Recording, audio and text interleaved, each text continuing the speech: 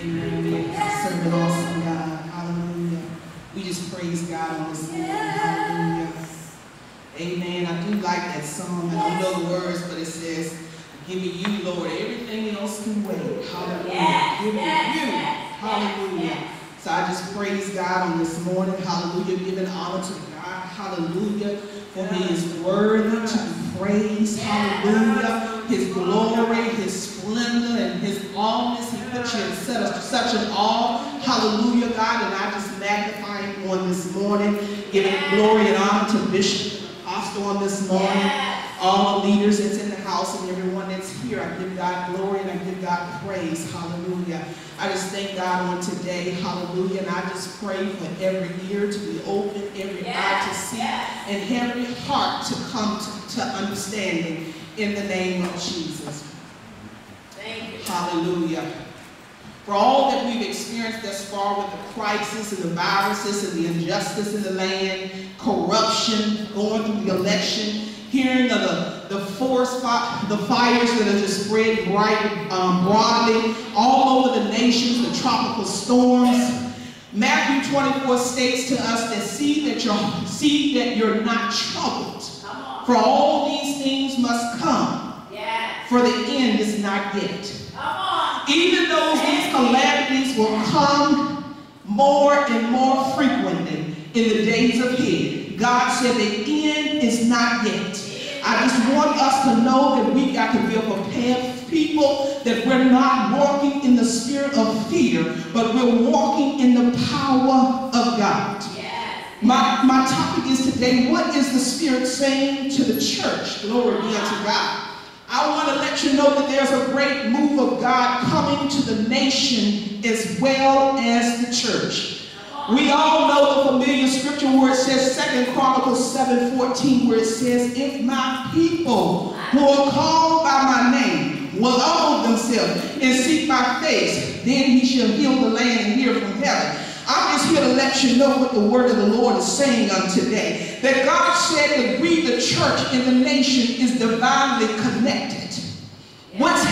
Happening in the nation has to do with the church. So when the church has to be in prayer, the church has to be in intercession, we have to understand that we're responsible for the things that are happening in the nation. And we have, if we're not praying, if we're not pressing, we're not interceding, we're the ones are to take control of what's happening in the nation. So if we want the things to happen in the nation, then we need to be on our face upon the Lord. Yes. Yes. We're divinely connected. There's no separation from the church at this point in the world. We are divinely connected. So as we rise in faith through intercession and we're spreading the truth of the word of God because God is raising up, this is a glorious time for the body of Christ if we want to understand what's happening. Even in the book of Acts, when we look at this virus, we look at the coronavirus, Anytime there's chaos in the land, God is moving in such a mighty way. When there was um, when there was um, um, things that was going on, when there was a warfare, when the people were being um, taunted and they were being fighting, those things that were going on in the book of Acts, when they were fought against against the word of God, we have to understand if we take a look at the word of God that those people were placed in Jerusalem. See, God took that chaos and the word would disperse into different regions. And see, even with us today, when we look at the coronavirus, we know that we've lost loved ones. We know that people have gone on and people have been sick. But God said, I take everything and use it for the good. So see, everybody has internet at this time. So what God is doing is he is dispersing the gospel. He said if the gospel is for preached in every region, so the gospel is being spread through Facebook, the gospel is being spread through different medias over the internet. We have to understand, he said the gospel is spread before he comes. That's what he's concerned about in these last days. We have to understand we may not, he may not send you as a person over in Asia. He may not send you as a person over in Africa. But if the gospel is being spread, then that's what God said the gospel is being reached. So God is taking something chaotic and he's moving for his glory. Hallelujah. We have to understand what the Spirit of God is doing in this hour. We can't just look at one thing, but we got to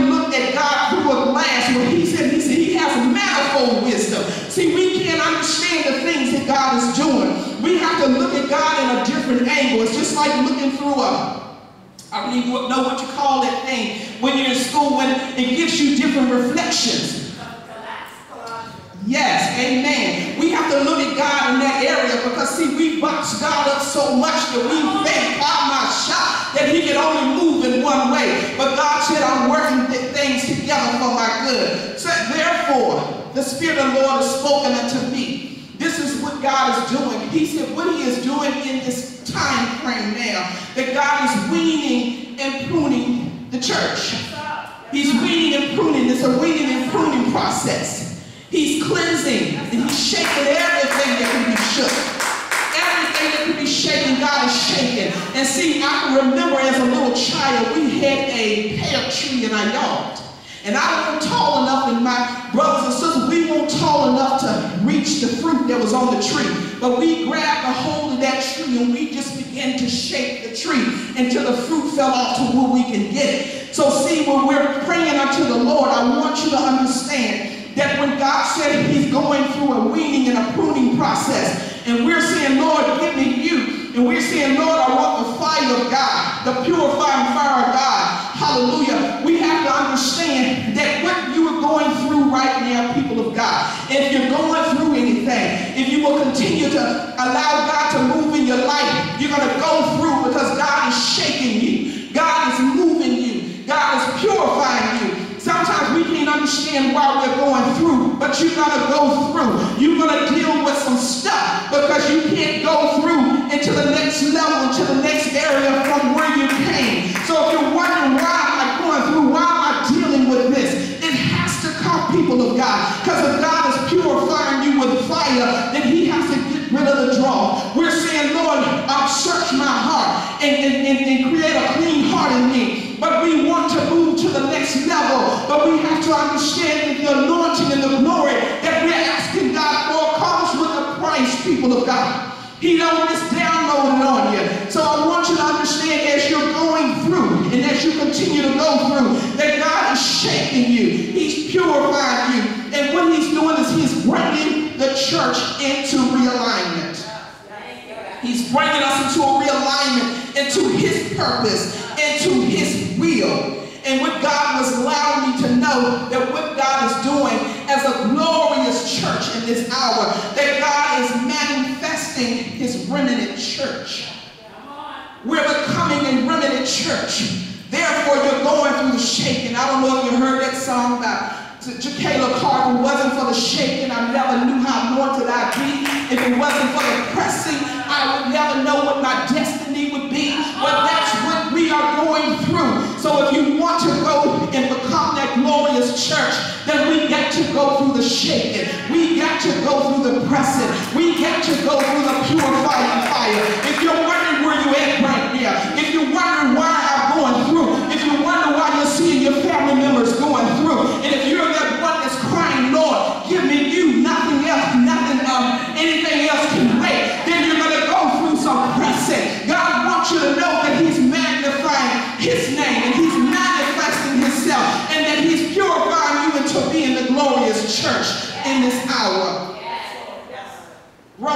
11, 5 says this, even so then at this present time, also there's a remnant according to the election of grace. Understand all through the Bible, God has always had a remnant. Hallelujah, set apart for his glory. This is nothing new. He's always had a remnant for his plan and his purpose. He had a remnant set aside, hallelujah, for his redemptive plan. And he still has a redemptive plan because it's some people and souls that we're still crying out for. He uses it for his glory. We're just um, um, the, the people of God right now in this era that he can use for his glory. And in this present hour, from the foundation of the world, God has chosen you as an elected church to carry out that purpose in that plan in his life. In, in, in your life. So um, as we continue to press on, but we have to, as God is saying unto me as a church, that his people have to have a certain posture. We got to have a certain posture. We want God to work on the inside of us. And that posture is before him is to have a heart of repentance and saying, Lord, search my heart. God said your posture has to be yielded. Your posture has to be in a spirit of humility and willing to face the fire of God in his purification. We got to have a certain posture in this hour. We cannot continue to move the way that we've always moved. He said these are the people who will operate in the power and the anointing of God. These are the, the, the remnant church who will walk in spiritual authority. This remnant church will walk in dominion and shall rule. This remnant church will know where they're seated at in Christ and be able to speak to people and bring them out of darkness and be able to speak to principalities and powers in dark places and shut Satan's kingdom down. This is the remnant church that God is raising up in this hour. We church and there is victory in that place. Amen. God is looking for that one who will stand on his word no matter what it says. No matter what's going on around you. That he's looking for that remnant church. He's looking for that person that will surrender and stand on truth in his kingdom values. These are the people that will carry the glory in this new era. They are the ones, we are the ones that will do this. And what God is doing is He is separating. And I know that we all see this right now. For everyone that is crying out, Lord, Lord, in this day is not of God. Everyone is not of Him. So God, what he's doing is separating the wheats and the tares. And I know that scripture talks about he does it in the end time. But you know when the blade of grass grows up together, they look just alike. We can't tell one from the other. We're crying out, God, give me more of you, and so forth. But the but the um the tare has, looks like a seed. It looks like the wheat. But what happens is they don't want anything of God. They're willing to stay right there where they are. God is calling us to a higher dimension because um, he's calling us to a higher dimension because when he begins to separate, we're going to begin to identify those, Shata, that is not of him. Because when, when you don't come up higher, that means that you have not been spiritually awakened. And when I tell you that you're going to be able to identify, think about the ten virgins. There was five that all had the lamp, but five did not have any oil. So they're walking around with the lamps,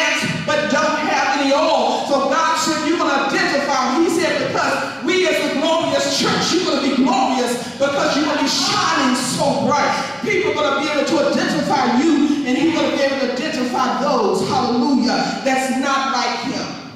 Thank you, And I want to share also, hallelujah, that God, as we're praying for this pandemic, God is gave me this word, hallelujah. We're praying the, blood covering over our family. I just want you to hear this, hallelujah. We're praying the blood covering over our family. We're praying protection in this pandemic. And God is just going to do just that.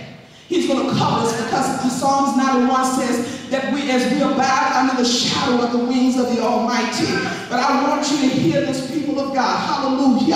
As God was downloading, beginning to speak unto me, this is what he said unto me. He said, the pandemic will not cease until the church come into alignment. And he said the simple fact that it will not come into alignment um, the, the, pandemic will not cease because if God begin to move the way that he wanted to move and heal the land. And we, he said what will happen is that we as the body of Christ will go back doing just what we used to do. And that's not what God wants us to do. We have to understand that when the children of Israel were brought out of Egypt, had he not, he could have took them, hallelujah, through the Philistine land, but he took them through the Red Sea for the same reason. He said, if I take them through that way, they'll, forget, they'll, remember and then they'll go back. God does not want us to go back. See, we don't look at ourselves like the Israelites, but we're just like them. God is trying to take us higher, people of God. And that's where God is trying to take us. He's taking us to a glorious church. There's a plan and a purpose for the body of Christ. And God is trying to get get that time to get us there. But we have to be willing to go with him because he's raising us up, people of God. And as I begin to close, I will share one more scripture with you. It says this in 1 John 3, 5, and 6. He said, This then is the message which we have heard of him and declare to you, that God is light, and in him there's no darkness at all. If we say we have fellowship with him and walk in darkness, we lie and do not the truth. See, we declare that we are the light shining so bright, and we are people of God. But there are things I want to say that we have established such a relationship with God. But through the revelation of the Lord, we can tend to lean into darkness in that relationship with God. We tend to lean to our own understanding in the relationship with God. We lean to our own opinions self-will. But what God is saying is Sunday also in this hour that we have a relationship, but God said, I need to bring you also in fellowship. I need you to come up higher. In order to come up higher, he said, come into fellowship with me. So fellowship brings us into partnership where we partner with the word of God. That brings us and shifts us into alignment. That causes us to walk in spirit truth of God's word. Because there are times when we hear the word, but we don't believe the word. But God said that not only are you going to be in relationship, but I want you to be in fellowship. I want you to be in partnership with my word. Hallelujah. When God begins to speak a thing, hallelujah, he declares it unto you. I want you to understand, just like the chaos in the land, the word of God comes because God speaks in eternity. He will speak something to you when everything is chaotic around you. We got to hold on to that word and then get to declare it and speak it, even when we don't see the manifestation as of yet. But it will come because the word of God shall not come back void. Fellowship, and as we partnership with Christ, will shift us and help us to bring us out of all types of darkness, out of any type of ungodliness and forms of ungodliness that denies the power of God to operate in our lives. And I will say this at close. We're moving in gross times, and times is going to get worse in the nation and in the world. And the only light that you're going to be able to see is through the Word of God. That will be the only light. Without the Word of God, it will be gross darkness to you, and you will not be able to see. You will be lost. So in this in this hour, God is Shandabasada. As the world grows dark, hallelujah. Isaiah 60 said, Rise and shine, for the light has come. And he said he, he has put the light on in us. And I look at the nation as a pie. God, it may not be that you're doing all things, but God may give you a slice of that pie just to stand and intercede for one because everybody gets a slice. Hallelujah in Christ. But without the word of God, that is the only light that's going to shine bright in this nation. Amen.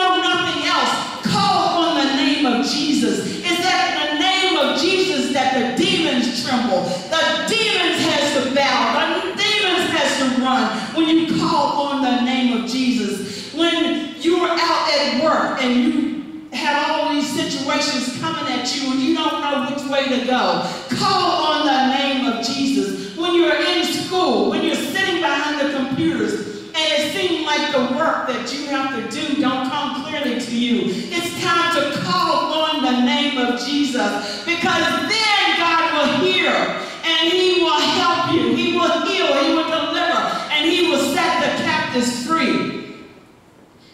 This morning God took me to 2 Samuel chapter 18 and verse 9. And it says, And Absalom met the servants of David. And Absalom rode upon a mule. And the mule went under the thick boughs of a great oak. And his head caught hold of the oak. And he was taken up between the heavens and the earth. And the mule that was under him went away.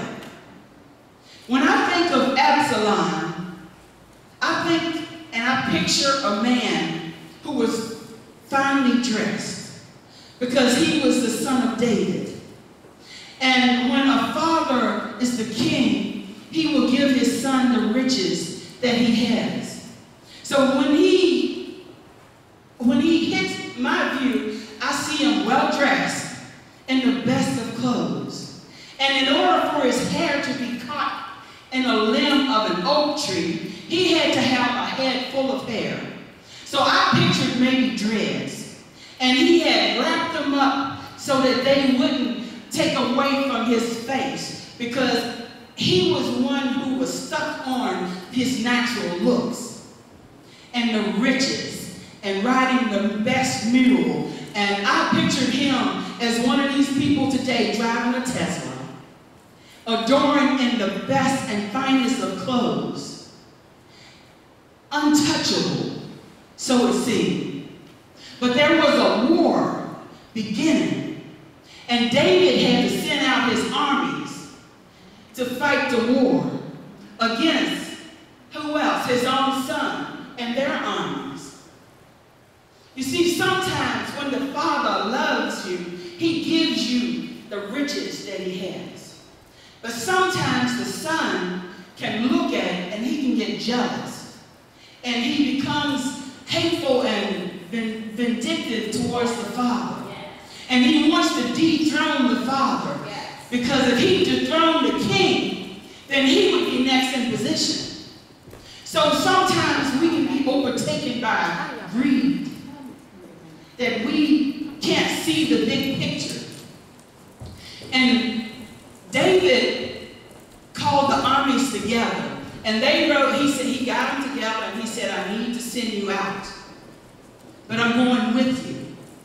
And they said, no, we need you to stay here. Because if they take a big number of us, it won't be a big loss. But if they take you, the kingdom will suffer. So David came into agreement and he agreed to stay there.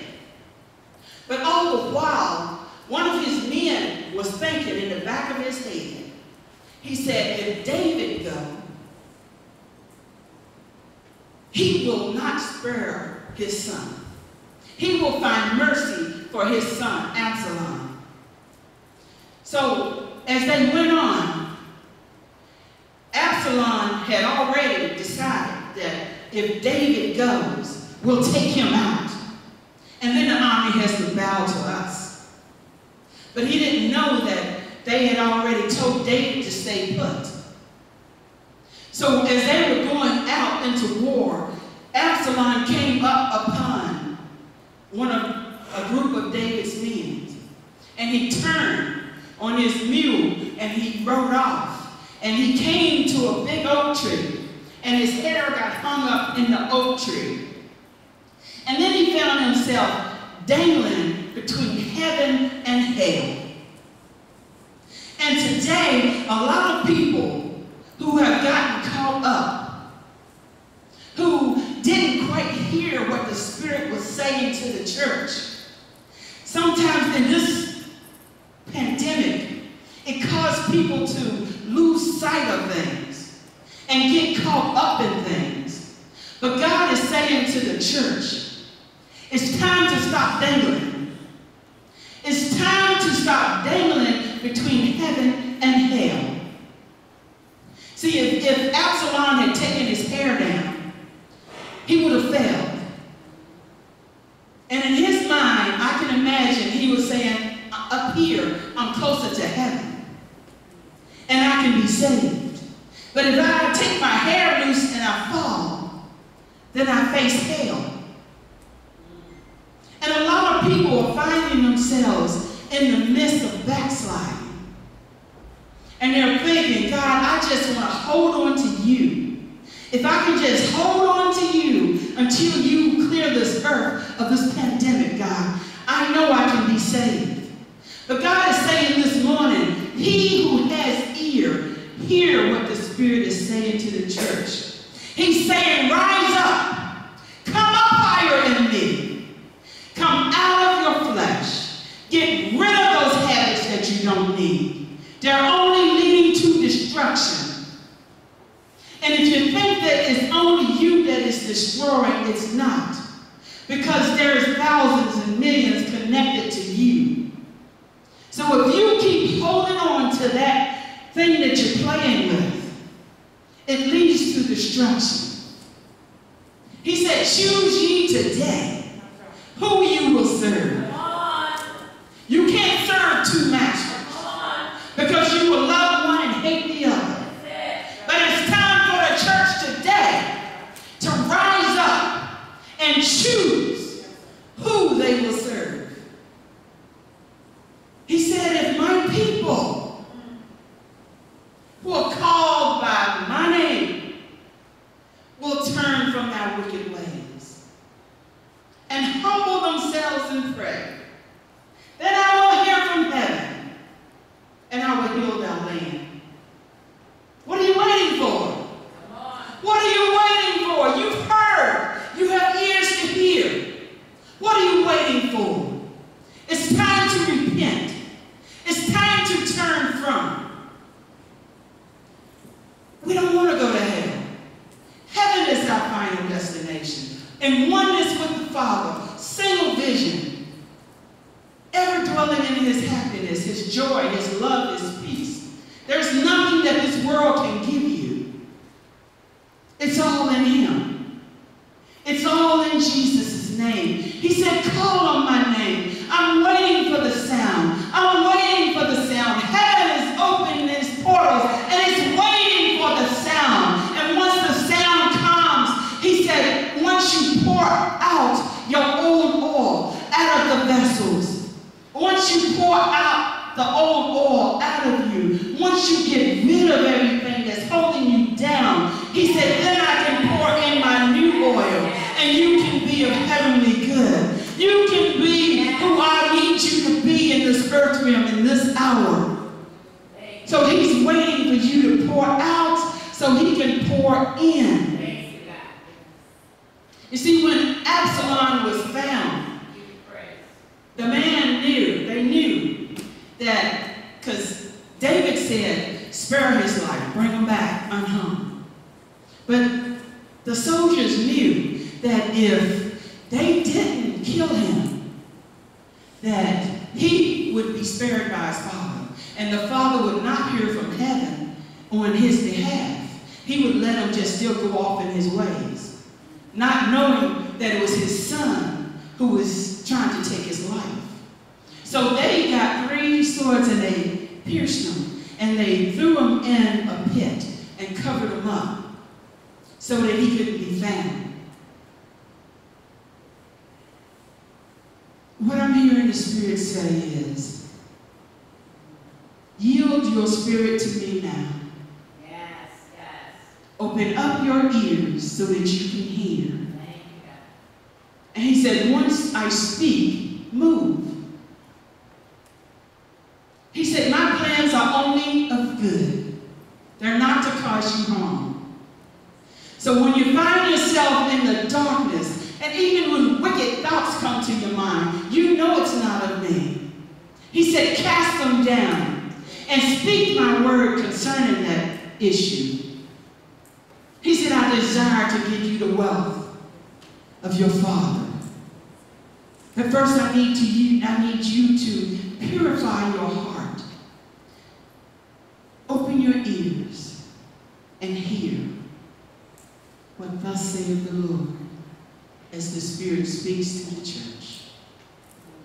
Give ear today. Amen.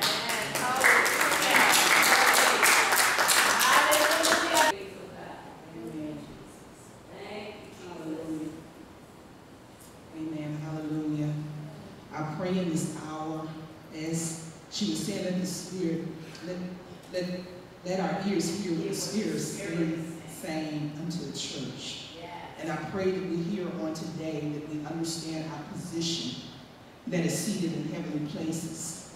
And that we understand to take our posture, hallelujah, in this nation according to Second Chronicles 7 and 14. I think we need to come to the understanding to allow us to know that we know even on today that God is raising up a glorious church. You need to know that you're part of the remnant that God has chosen, that He has predestined from the foundation of this world. This is not something that He has just chosen us to become, but He knew this time would happen, and even in this hour. So it's no coincidence that we're going through what we're going through, and we are the glorious church in this hour, and that we begin to yield ourselves to the plan and the purpose in this end time and that we will come in fellowship, that we have a relationship, and that we will partner with the Word of God in spirit and in truth, and that we will stand upon the truth of God's Word, that we will take God's Word and believe it. It shall not come back void. We serve a God who's able to do exceedingly and abundantly all that we could ever ask or think. And according to Isaiah 60, that we are the light that's in this world, that we are the light that's shining so bright, that we are the vessels that are carrying the glory of God, that he said that his light